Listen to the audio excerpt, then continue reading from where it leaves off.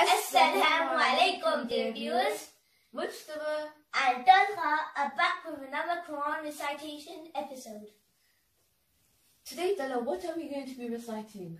We are going to be reciting Surah Al-Kafirun with its beautiful translation. Insha'Allah.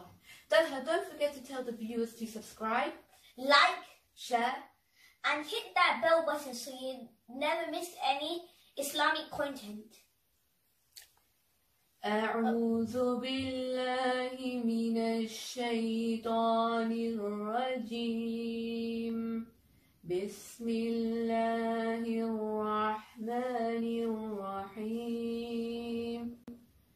قل يا أيها الكافرون لا أعبد ولا أنتم عابدون ما أعبد ولا أنا عابد ما عبدتم ولا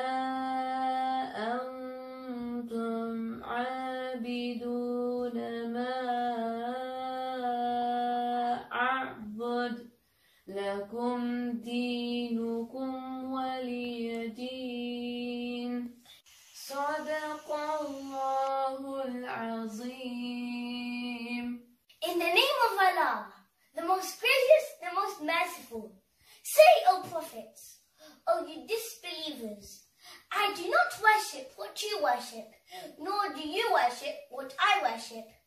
I will never worship what you worship, nor will you worship, nor, nor will you ever worship what I wo- worship. You have made, you have your way, and I have my way.